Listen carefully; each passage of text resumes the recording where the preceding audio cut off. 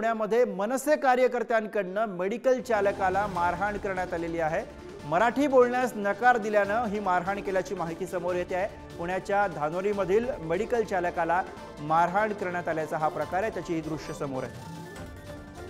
पुण्यामध्ये मनसे कार्यकर्ते आक्रमक झाले. मराठी बोलण्यास नकार दिला असा आरोप करत एका मेडिकल चालकाला मनसेच्या कार्यकर्त्यांनी मारहाण केलेली आहे. त्याचे हे व्हिडिओ समोर आलेले आहेत.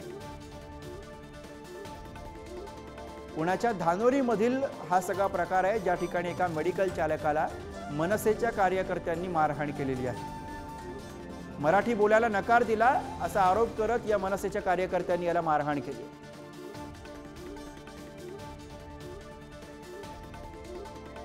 Thank you.